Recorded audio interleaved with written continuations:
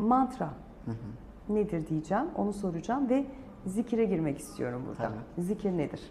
Yani e, şöyle bir durum var, ilginç bir e, hani e, avcı toplayıcı topluluklardan günümüze kadar uzanan aslında bizim konuşma becerimizin e, ilginç bir şekilde iletişimden ziyade şifa için e, veya herhangi bir yaratım için olduğuna dair çok yaygın inançlar var.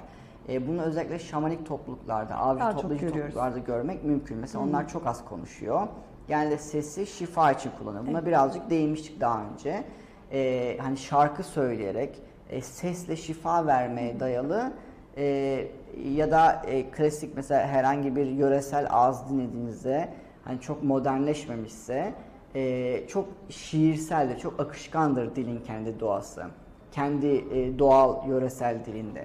Hala aslında dil, konuşma, ses e, çıkardığı tınılardan dolayı insanın ruhunu etki eden bir yapıya sahip ve e, evrimsel süreçte de sesin gücünden faydalanıp aslında biz bunu ritüelistik amaçla kullanmışız. Yani çok güçlü bir şarkı dinlediğimizde tüylerimiz diken diken olur. Tabii, E, hemen tabii de bütün duygu durumumuz beden. değişir. Tabii mesela gülebiliriz, enerjimiz yükselebilir, ağlayabiliriz, maneviyatla dolabiliriz bir bir ilahide veya tasavvuf veya kabalistik bir şarkıda ya da bir mitik destan bazen hani e, Gılgamış destanının orijinalini yollarım kendi eğitim gruplarıma. Mesela onu dinlediğinizde o kadar şiirseldir ki anlamasanız bile tüyleri diken diken eder. Sizi böyle ilahi bir alemle bütünleştirir. Hale sesin hakikaten üzerimizde çok güçlü bir etkisi olduğu bilindiği için ses üzeri hani sesler çok şarkı gibi, ilahi gibi, mantra gibi, zikir gibi şifa verme niyetiyle kullanılmış. Hatta e, daha böyle ilginç şamanik gelenekler var. Örneğin e, Çaraka halklarında e, bir bitkiyle şifa verecek olan kişi önce şarkıyı din, önce bitkinin şarkısını, müziğini dinlemeyi öğreniyor. Ya. E, ve hani doğada onu bulduğunda o bitkinin e, şarkısını işitiyor iç, iç sesiyle ve sonra o bitkiyi o şarkıyı söyleyerek bitkinin şarkısıyla koparıyor. Ne kadar güzel. Ve sonra birine şifa verirken de onun şarkısıyla o bitkiyi eziyor, onun şarkısıyla tentürü yapıyor, onun şarkısıyla tütsü yapıyor ve onun şarkısıyla şifa veriyor. Ya da hani bilinen bir olay var, ee, hani bu hatta çok da popüler oldu, paylaşıldı. Ee, bazı kabilelerde her bebek kendi şarkısıyla doğar ve dünyaya gelir ve anne bunu işitir. Ve bebek o şarkıyla dünyaya doğrulur. Hatta e, eğer bebek ileride bir suç işlerse, Evet. e, bir hata yaparsa, e, kendi özünden uzaklaşırsa, kabile o şarkıyı söyleyerek bak sen bununla doğdun der ve tekrar özüne geri döndürür. Yani şarkının, sesinin, sözün çok büyük bir gücü var, bü- büyük bir şifası var ve biz ilk başta bunun için kullanmışız. Sonra efsaneler e, veya mitler doğmuş. Mesela antik Mısır'da tabii ki şu anda hani Egiptologlar Mısır'ındaki piramitlerin su yoluyla e, inşa edildiğini söylüyor ve biliyor bunu öne sürüyor ama bazı antik Mısır yazıtlarında, edebiyatında e, bir dizi şarkı söylendiği, e, papirüse bir şeyler yazıldığı ve taşların böyle havalandığına dair hikayeler vardır, anlatılar vardır. Yani bunu masal gibi, hikaye gibi dinleyebilirsiniz ama alt metinde sesin ne kadar güçlü olduğu Kesinlikle. e, içeren bir Anlatıyor şey var. Evet. orada. E, ya da e, hayvanlar için de öyle. Seslerle hayvanları çağırabilirsiniz. Seslerle hayvanları kontrol edebilirsiniz. Öyle çobanlıkta da kullanılır. Kesinlikle. Ya da e, hani ses çıkararak hayvanları çağırabilirsiniz. Bunlar e, ekolojik olarak yaşayan, doğayla bir yaşayan topluluklarda var. E, haliyle baktığımızda sesin nihai amacı aslında şifa veya bir yaratım olduğunu görüyoruz. Şimdi buradan yola çıkarak gelenekler ortaya çıkmış. Mesela mantralar.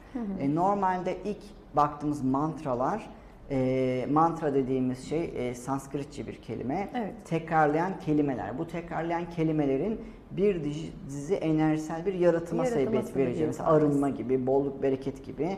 Bizim e, hani kültürümüzde İslami anlamda biz bunu zikir olarak biliyoruz. Yani tekrarlayan Evet, kelimeler. zikir diye geçiyor E, neler doğru. olabilir zikirler? İşte e, genelde Esma-ül Hüsna yani genelde Allah'ın 99 sıfatı genel olarak zikir olarak çekilir. Evet. E, her bir e, sıfatın insan ruhunda e, bir tekabül Uyandırdığı ettiği bir şey başka bir olduğuna şey inanılır. Evet. Ve o zikri tekrar işte Ya Vedud olabilir, işte El Cabbar olabilir, işte e, seven ve sevilen, işte Ya Şafi olabilir, şifa veren gibi bir sürü 99 sıfat var. Ve bu 99 sıfat tekrarlandığında kişinin içindeki sağlıyorum işte ya Şafi zikredildi. O Şafi esmasının uyandığı ve kişinin iyileştiğine inanılır. Haliyle bir nevi o frekanslı bir kapı açma gibi.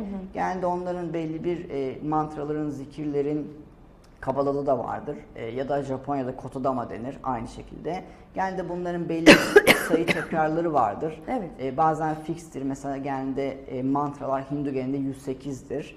E, 108'li malalar, maladan tespihler vardır ve onlarla çekilir. Yani o tespih çekme de saymak için geleneksel bir yöntemdir. Hinduizm'de de var. E, ya da İslami kaynaklarda genelde o esmanın, e, o zikrin ebced hesabı, sayısal hesabı yapılır ve ona göre yani en temelde ve en basit olarak e, kullanılır. E, ve buradaki temel amaç da o tekrarlandığında hayatımızda bir değişim yapacağıdır. Hani dediğim gibi bunlar aslında bazen uzun mantralar da oluyor. İşte Gayatri mantra var, o var, bu var. E, ya da bazen kök kelimeler oluyor. Hani e, e, Evet. bu kök kelimeler bija olarak geçen e, bu tohumlar tek başına bir anlam ifade etmeyen ama tekrarlandığında bir enerjisel yaratım yapan e, sözcükler oluyor. İşte içinde A, O, I taşıyan, E taşıyan veya sesli harfler taşıyan e, mantralar var. O yüzden hani mantra, zikir, ko- kotodama ne dersiniz bütün farklı kültürlerde farklı isimleri var. En temelde sesin ne Evet. kadar güçlü olduğu üzerine e, e, çıkmış şeyler. Bunun mesela en bilineni, en modern olanı abrakadabra. Değil mi? E, mesela abrakadabra'yı biz genelde böyle e, illüzyon oyunlarında Gibi. biliriz. Evet. Evet, E, orada ama duyuyoruz. hakikaten de abrakadabra orta çağda e, tıp geleneğinde kullanılmış bir sihirli sözcüktür mesela. Ya. E, abrahadabra'dan geldiği düşünülür. Abra'dan geldiği düşünülür.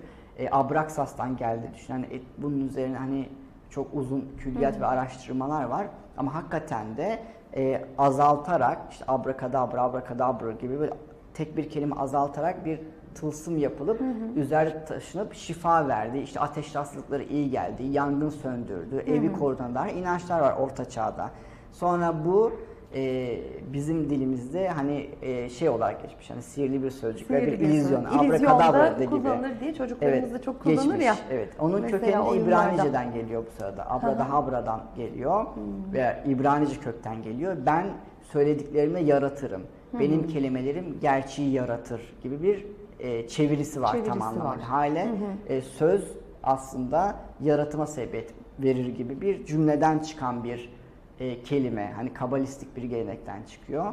Evet. E, kimisi antik Mısır'a dayandırır bilmiyoruz. Hani o oralar uzun konular. Şimdi bütün e, yap- yapmış olduğumuz konuşmalara bakıyorum hocam. Geçen hafta da öyle. Kelimelerin gücünden bahsettik Evet. değil mi? Sesin, şarkının gücünden Evet. bahsettik.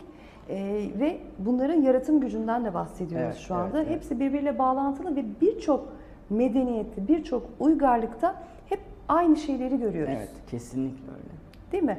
Ee, hani dedik ya bir şeyi bir 40 defa söylersin Söylersen başına olur, gelir, başına olur. gelir.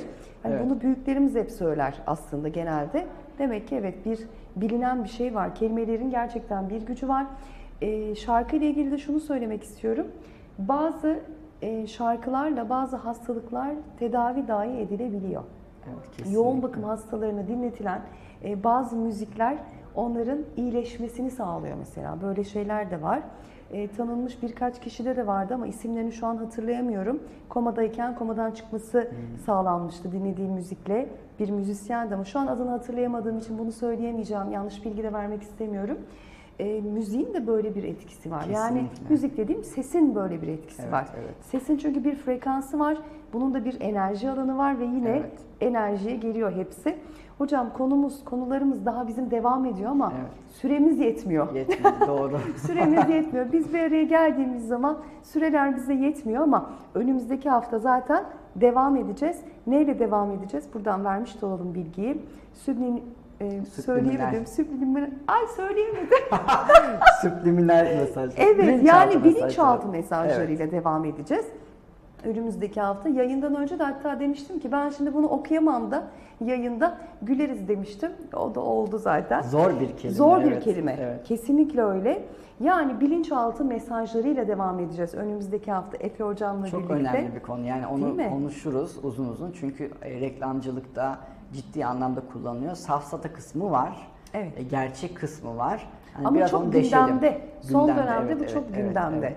Diyorlar ki acaba böyle böyle yapıp bize işte bilinçaltına mesaj mı gönderiyorlar, Evet, bir şey mi evet. yapıyorlar diye. Oradan E, biz de- gidelim. Aynen. Reklamcılık yani reklamcılık sektörünün veya algı yönetiminin ya da in- kitlelerin nasıl yönetildiği üzerine bir Evet. sohbet yapalım bir sonraki Önümüzdeki programda. hafta bence zaten kaçırmayın kesinlikle. Çarşamba günü burada birlikteyiz Evet, değil mi hocam aynen sizinle? öyle. Çok teşekkür ediyorum. Verdiğiniz teşekkür değerli ederim. bilgiler için, bu güzel sohbet için her zamanki gibi yine harika bir programdı. Çok teşekkürler. Sağ olun hem size hem arkadaki ekibe. Ee, Benim için çok keyifliydi. Emeklerinize sağlık. Çok teşekkürler. Evet bugün de Hayat Güzeldir programının sonuna geldik ama yarın